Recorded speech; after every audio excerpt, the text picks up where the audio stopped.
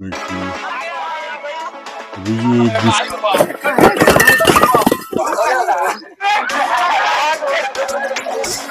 ये काफ़ी मुश्किल हो जाएगा।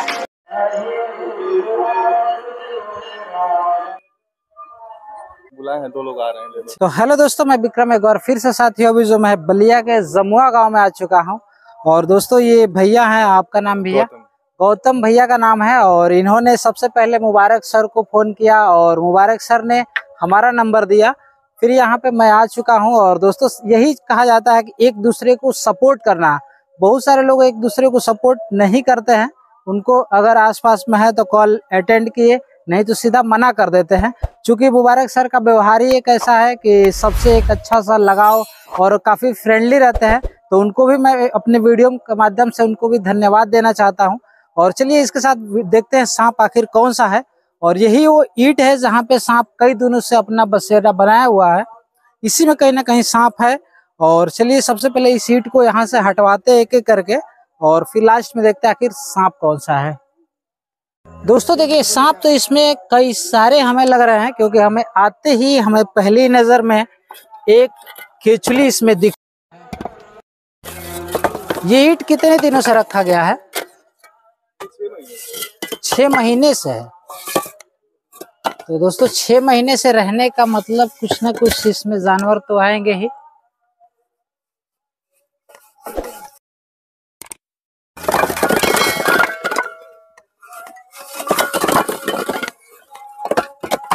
दोस्तों देखिए एक केचुली है और ये जो केचुली है गेहूँ सांप की लग रही है। ये आराम से। देखिए दोस्तों ये इंडियन स्पेक्टिकल कोबरा की ये केचुली है और हो सकता है इसमें कई सारे सांप रहते हों इसलिए एक लॉन्ग लाइट टॉर्च मंगा लीजिए सबसे पहले। उधर हाँ उधर नोटिस ना ना उधर नोटिस करना एक्चुअली दोस्तों आप देख सकते हैं काफ़ी टाइम बीत चुका है लगभग दो घंटे बीत चुके हैं ईट हटा हटाते हटाते और अब वो टाइम आने वाला है, जबकि सांप आपको नज़रों के सामने आने वाला है तो थोड़ा सा धैर्य बनाए रखिएगा। अगर चैनल पर नए हैं तो सब्सक्राइब ज़रूर कर लीजिएगा। दोस्तों, देख सकते हैं।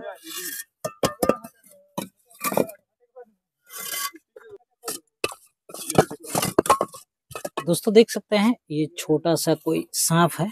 चलिए, सबसे पहले इसको बाहर निकालते हैं।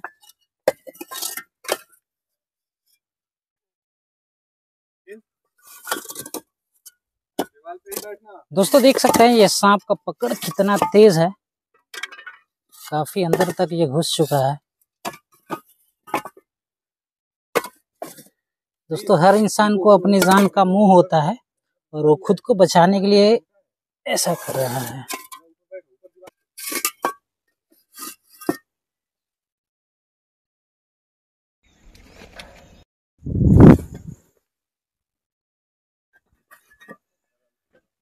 दोस्तों, देख सकते हैं, ये है इंडियन रेड स्नेक और देखने में ये कहीं कहीं कोबरे की तरीके से भी दिख रही है, और थोड़ा सा पास से लीजिए।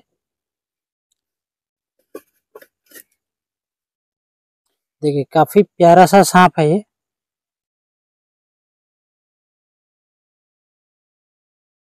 दोस्तों, धामिन सांप में जहर बिल्कुल भी नहीं होता है, और ये धामिन सांप का ही बच्चा है। अक्सर लोग कहते हैं कि सांप, देखिए अभी जो एक गुस्से में बाइट भी कर रही है। दोस्तों, जब भी अक्सर ये सांप काटते हैं किसी को तो लोग झाड़ फूक से ठीक हो जाते हैं, क्योंकि इनमें जहर होता नहीं है। और जब भी कोई कोबरा करे, इस प्रकार के सांप काटेंगे तो उनके अंदर जहर चला जाता है और उनकी जान नहीं बच पाती है।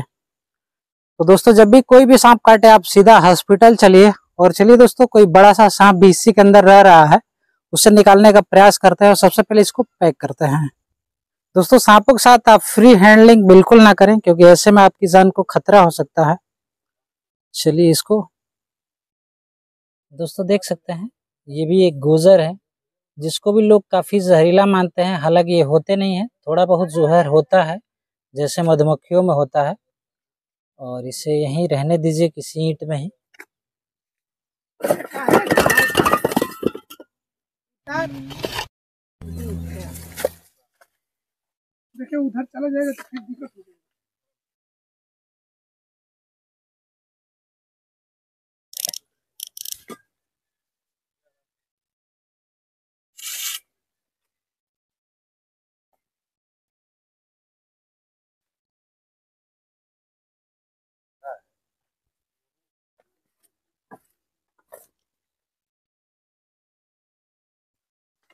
दोस्तों देख सकते हैं, ये है इंडियन स्पेक्टिकल कोबरा आइए, ले आइए।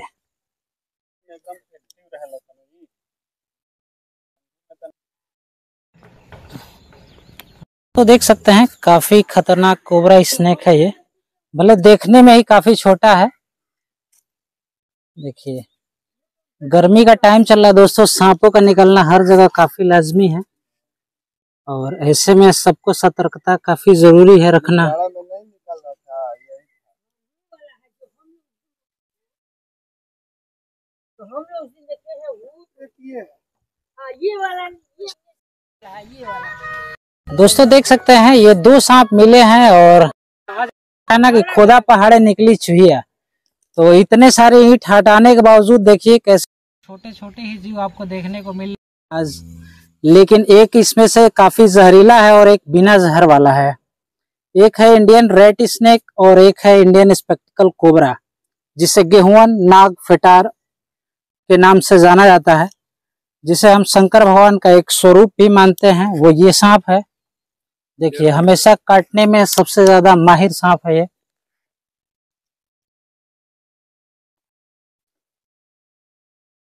दोस्तों, ऐसा मंजर पहली बार देखने को मिला है, और यहाँ पर तो दोस्तों, बताने के मुताबिक काफ़ी बिग साइज़ के ही सांप रहते थे क्योंकि ये उनके अंडे बच्चे ही हैं, जो इनके साथ ही यहाँ पे एक फैमिली बना के रहते हैं काफ़ी दिनों से।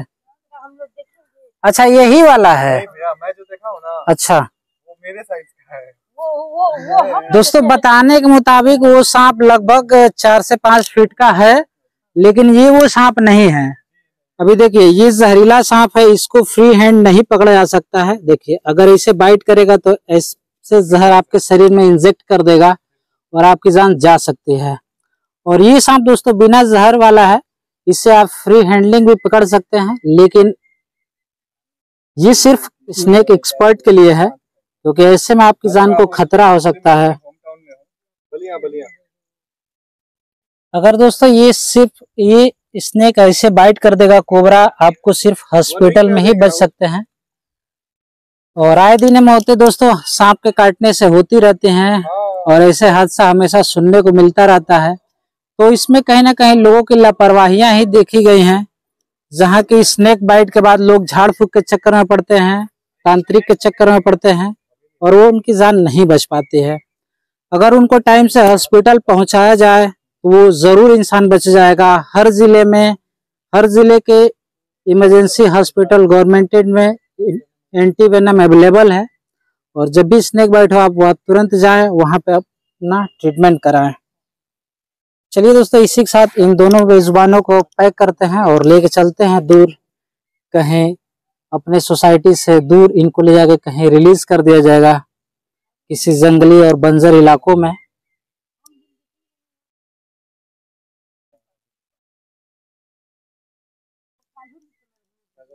तो चलिए दोस्तों, अब लेके चलते हैं इन दोनों को पैक करते हैं एक साथ। चलिए।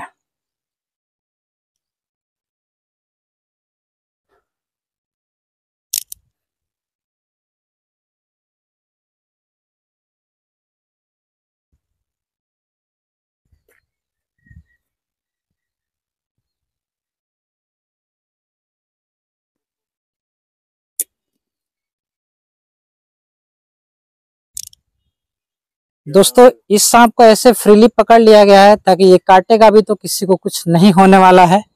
और इस सांप के काटने से इंसान मर जाएगा, इसलिए इसका मुँह ही पकड़ा गया है।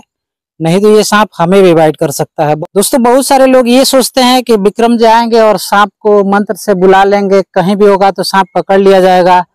तो ऐसा भी कुछ नहीं है, हमारे आने से भी आपकी समस्या दूर होने वाली नहीं है। क्योंकि हमारे आने के बाद तोड़ फोड़ ज़रूर मचाया जाता है, जहाँ सांप होता है उसको जब तक अपनी नज़रों के सामने नहीं देखा जाएगा, तब तक उसे हवा में ना पकड़, नहीं पकड़ा जा सकता है। यहाँ पर आप लोगों ने देखा, इतना सारा ईंट था, उसका हटाने के बाद ही इन दोनों सांपों को निकाला गया है। अगर ये ईट हटाने से भैया मना कर देते तो इन दोनों सांपों को नहीं निकाला जा सकता है। चलिए, बिना टाइम गवाए आपका भी और लेके चलते हैं। अगर वीडियो अच्छा लगा होगा तो लाइक से ज़रूर करिएगा। और तब तक, चलिए, इन दोनों को पैक करते हैं।